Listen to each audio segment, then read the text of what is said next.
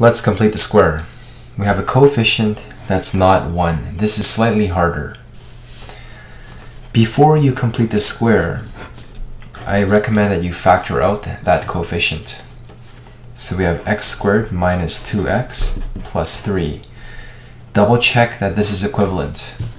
2x squared, 2 times negative 2 is going to be negative 4, and that's negative 4x because 2 times negative 2x. Okay, now this is the point where we're completing the square. We're focusing on this drum beat combo. We're to leave lots of room, make even more room, land that airplane on the runway, and it's to be squared. Yes, it's to be x, because x times x is x squared. Now, do we copy down the negative 2 here, or a half? It's to be half, which is minus 1. This is your tummy, it's very full, so we're to for sure minus every single time. Minus what? Minus this number 1, 1 squared. So we're just about done. Now we're to distribute. 2 times this becomes 2 times this.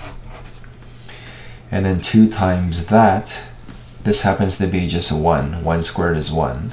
2 times negative 1 is negative 2. And the plus 3 just comes down.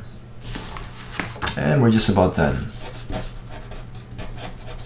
Negative 2 plus 3 is 1. And why did we complete the square? Because now we know the vertex. The vertex here is 1 comma 1. The opposite of negative 1 is 1, and the 1, the y value just copies down here. So as you can see, the vertex 1 comma 1 is one unit to the right and up, and it opens like a happy face. Because this this a value is a positive number. Now notice how the a value here, the a value is also here, is a positive number. It's not 1, it's 2. So this graph here is a bit more stretched vertically, more so than usual. I'll show you on Desmos. So this here is a standard parabola with a vertex 1 comma 1. You can even click on it and you can see that it's true. However, if you stick the number 2 in front of the entire parabola, you can see that the purple graph is twice as stretched vertically.